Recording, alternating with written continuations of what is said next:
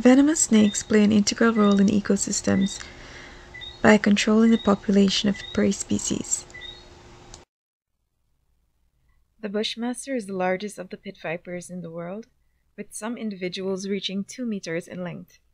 Their color pattern is striking, being a yellow to reddish brown, with black to dark brown triangular blotches, which makes them stand out. This snake is characteristic for delivering multiple bites with large amounts of hemotoxic venom. The labaria is known in Guyana for its speed and aggressive nature. Adults can reach the lengths of 1.2 meters. Labarias display variable colorations, which are consistent with ground colors, which allows them to blend in well with the forest floor. This species can sometimes come in a green variation, which is normally mistaken for a parrot snake. The venom of this snake is hemotoxic and is usually lethal and fast acting.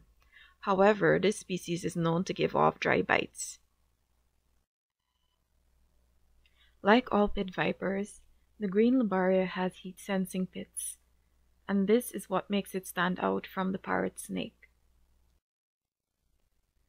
The bistriped pit viper is a small, sleek green snake with a prehensile tail, which it uses to attach itself to trees.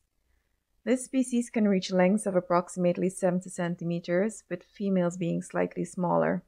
They're primarily arboreal and nocturnal, and they tend to feed on small frog species.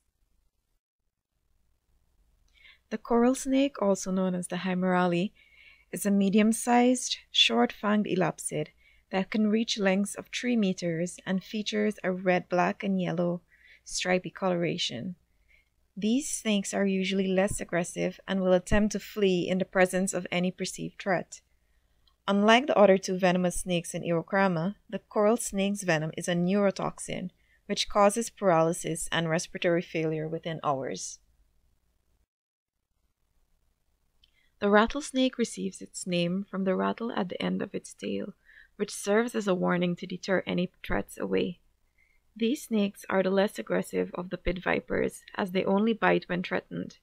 The rattlesnake can grow up to 6 feet in length, and they have two distinct stripes at the base of their head. The toxins of the rattlesnakes are a mixture of hemotoxin and neurotoxin, which immobilizes its prey while disrupting its circulatory system.